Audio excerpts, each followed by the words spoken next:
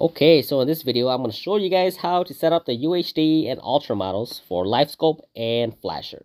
So in the main menu, click on Combo, Customize, Add, select which one you want.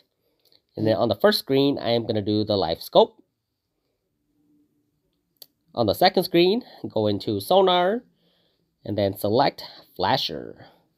So here, I like to adjust the screen size, so I just maximize the LiveScope. Click Done you can name it if you want.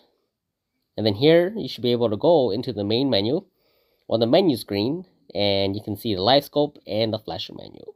So here you can make any adjustments that you want for each. So when I first started this, um, I had my 7-inch UHD and this is a video from two years ago. As you can see, the crappie starts to come up. So I believe some of the folks like the flashers, so you can see like the target separations. But yeah, on the next outing, uh, make sure to test this out.